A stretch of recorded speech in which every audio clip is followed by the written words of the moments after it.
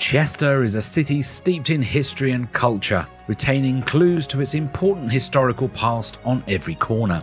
From the remains of its Roman amphitheatre to the almost complete defensive walls that encircle the city, and let's not forget the beautiful central streets with some magnificent architecture, it's just yearning to be discovered and admired, and a city we'd wanted to visit for years.